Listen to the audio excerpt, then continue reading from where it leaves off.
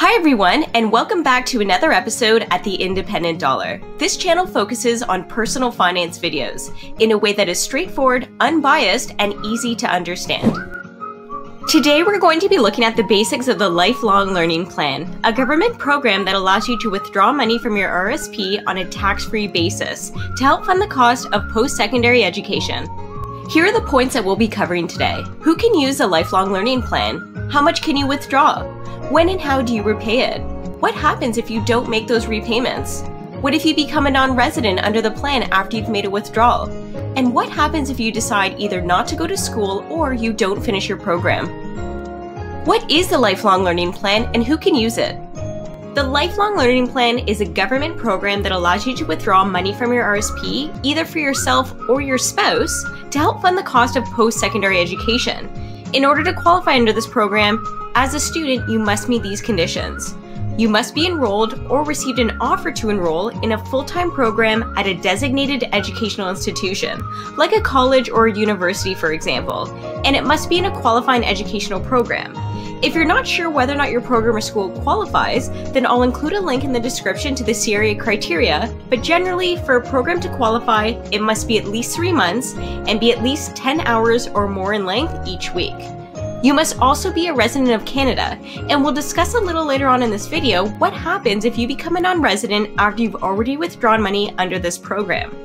And finally, if you withdrew from the LLP in a previous year, your repayment period must not have started yet, or you must have already repaid the balance in full in order to participate again. But what if you withdrew money from your RSP under the first time homebuyers plan? Can you still participate? Yes, a withdrawal under this program has no impact in your ability to participate in this program. However, when you start making repayments, you cannot designate one payment to both programs, and we'll talk about this a little later when we dive into repayment options. Now let's take a closer look at withdrawing under this program. Either you or your spouse have now decided to pursue a post secondary education, but how much can you withdraw under this program? Under this program, you can take out $10,000 per year up to a maximum of $20,000 under this plan. However, you want to be extra cautious if you've been making regular or recent deposits into your RSP account. In order to participate in this program and also deduct those same contributions on your tax return, any amount withdrawn must have already been in your RSP account for 90 days or more. To withdraw funds under this program, you will need to complete Form RC96, which looks just like this, and I'll include a link to it in the description below. While you don't need to submit this form with your taxes, you do need to make sure that you keep a copy on file should CRA request it. Now that we know that the maximum is $20,000, you don't need to withdraw the full amount in the first year. You can continue to make withdrawals under the program until you reach that maximum, up until January of the fourth calendar year after the year you made your first withdrawal, as long as you still meet the conditions and your repayments have not yet started. Now, I know that's a bit of a mouthful, so as an example, assuming you made your first withdrawal from the plan in 2020, the latest you can make a withdrawal under the program afterwards would be January of 2024. You've taken advantage of the lifelong learning plan, but when and how do you eventually have to repay it? Let's continue with the same example. You withdrew under the program in 2020. Assuming you were still considered a qualifying student for at least three months during the year in 2020 and onwards, you will not need to start repayment. However, if you don't meet that condition two years in a row, your repayment period will now begin. The latest year that you can start repaying your LLP withdrawals is the fifth year after your first withdrawal, regardless of whether or not you completed your program. So in this case, assuming you remained a qualifying student and your first withdrawal was in 2020, you will now be required to start repayment in 2025 even if you're not finished your program. Once you enter the repayment period, you will have 10 years to repay the amount that you withdrew, and the amount of each payment will be equal to one tenth of the original withdrawal. Therefore, if you took out $10,000 in 2020, then your repayment amount would be $1,000 each year for 10 years. So in this example, in order to make your repayments, you need to deposit $1,000 into your RSP each year for 10 years and designate that payment as a repayment to the LLP program. And you'll do that by completing Schedule 7 on your tax return. And this is really important to understand because your bank cannot make the designation for you. In order to do it, it must be done when you file your taxes. Be careful though, not all deposits into an RSP can be designated as a repayment to the LLP program.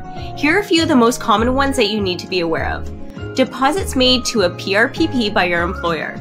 Deposits made into a spousal RSP. This is probably the biggest misconception. You cannot repay your LLP by making a deposit into a spousal RSP. Transfers from other RSP plans. And finally, deposits that you have already designated as repayments to the first time homebuyers plan. What will happen if you decide not to repay your lifelong learning plan withdrawals? If you don't make your repayments each year, that will result in the amount being added to your taxable income. So if we think back to our previous example with the $1,000 annual required payment, let's assume you made $40,000 a year. Well, you're now going to have to pay income tax on 41,000. What happens if you withdrew money under the lifelong learning plan, but you're now considered a non-resident? If you become a non-resident, you can no longer participate in the program. Therefore, once that happens, you will have to repay the entire balance that you withdrew back into your RSP. Otherwise, whatever amount you don't repay will be added to your taxable income that year.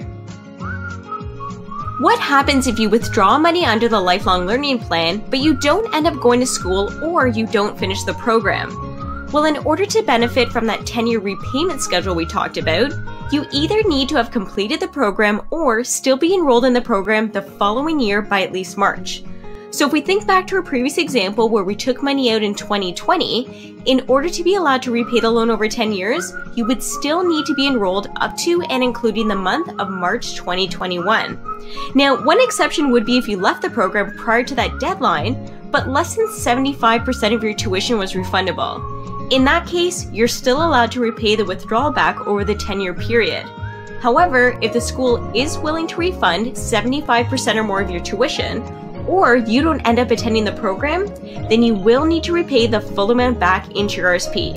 And you'll do that in the form of a canceled payment, which simply means that you don't receive a deduction for it, nor will it impact your contribution room. Otherwise, the full amount will be added to your taxable income that year.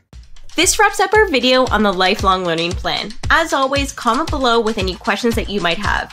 And be sure to stay tuned for our next video where we will be breaking down the basics of ETFs and comparing the contents and performance of some of the more popular options. Thanks so much for watching and we'll see you back here on Thursday.